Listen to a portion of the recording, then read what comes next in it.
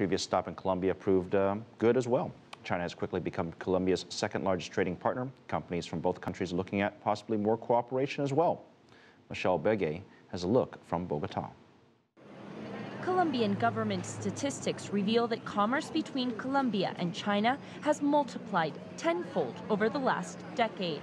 Consumers are used to seeing Chinese imported products that Colombia's government estimates at $10 billion annually.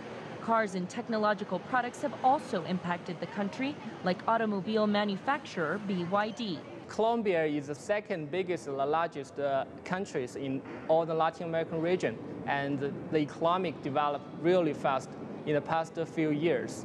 And also, Colombia have the huge population, so we think this is a big opportunity for Chinese enterprise to enter into this market. A decade ago, China only had 10 companies in Colombia.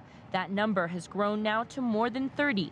It may not seem like much, but the companies that are in Colombia are looking to create big impacts in infrastructure.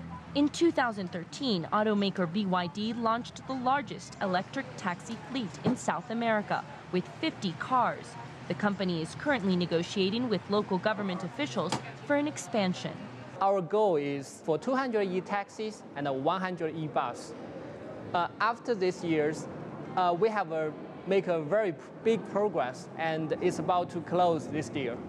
While China's presence in Latin America has grown, experts say countries like Colombia have yet to take full advantage of relations.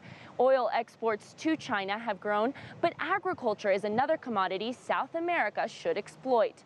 According to China's Ministry of Agriculture, China imports 100 billion US dollars worth of food annually.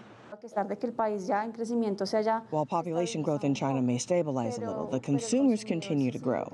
And that's where Colombian food and drink producers have a huge opportunity. Five years ago, the Colombia China Chamber of Commerce was created, aimed at dissolving cultural barriers between the two countries so businesses can see the potential for future growth. Michelle Begue, CCTV, Colombia.